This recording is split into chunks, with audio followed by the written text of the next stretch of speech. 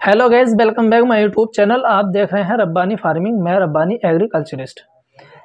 मेरे किसान साथियों, ये धान का टाइम चल रहा है, धान का सीज़न चल रहा है। उसी के रिलेटेड आज हम एक इंसेक्टिसाइड के बारे में बात करने वाले हैं, जो हमारे खेत में तिला लगने से पहले अगर हम यूज़ कर लेंगे तो हमारे खेत में तिला भी नहीं आता है। मेरे किसान साथियों को बहुत ही बेनिफिट मिलेगा।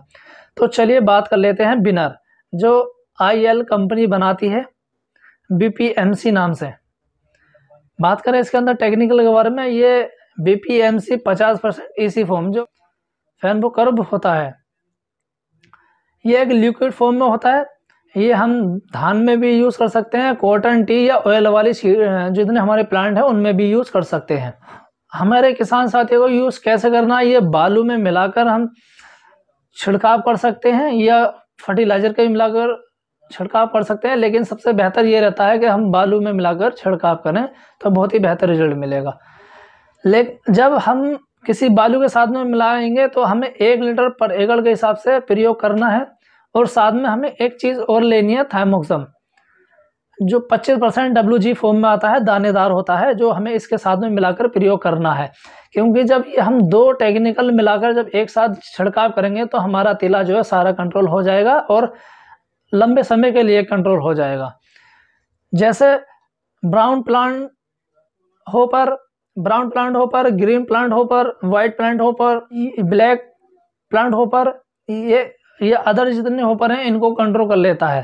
कहने मकसद है, हरा भुनका काला भुनका टीडा या छोटा भुनका सफ़ेद भुनका ये जितने भी हमारे या अदर भुनके रहते हैं, जो हमारे किसान साथियों को एकदम दिखाई भी नहीं देते, नन्हे भुनके दिखाई देते हैं जड़ में ज़्यादा लगते हैं, जड़ में देखने से हमें पता चलता है कि हमारे खेत में तिला आया है या नहीं आया है। वाइट होपर से हमें पता चल जाता है। तो हम जब होपर लग चुका है तो तभी हमें इसका छिड़काव कर देना है।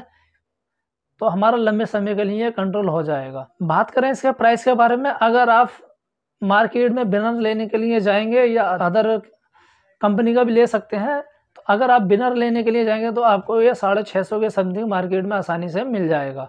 ढाई सौ एम एल पाँच सौ एम एल एक लीटर और पाँच लीटर इसकी पैकिंग आती है बिनर की। और इसके साथ में हमें थायमोक्सम लेना है, जो पच्चीस परसेंट वाला दानेदार आता है।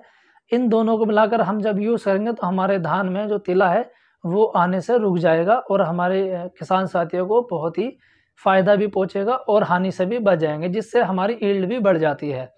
तो ये बताया हमने इंसेक्टिसाइड के बारे में, तिला जब आ जाए तो आप यूज़ करें या तिला आने से पहले यूज़ कर लें तो बहुत ही बेहतर रिज़ल्ट मिलता है।